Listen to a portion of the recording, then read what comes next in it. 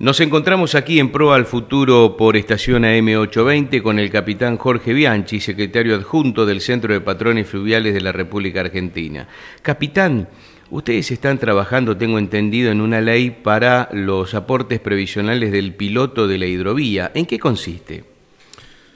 En impulsar un proyecto de ley, porque hoy el que trabaja en la hidrovía, estamos dentro del Mercosur, estamos dentro del tema de la hidrovía, podemos navegar en distintos barcos de las banderas del país de, la hidrovía, distintos países de la hidrovía, pero los aportes jubilatorios no vienen a nuestra, a nuestra propia caja.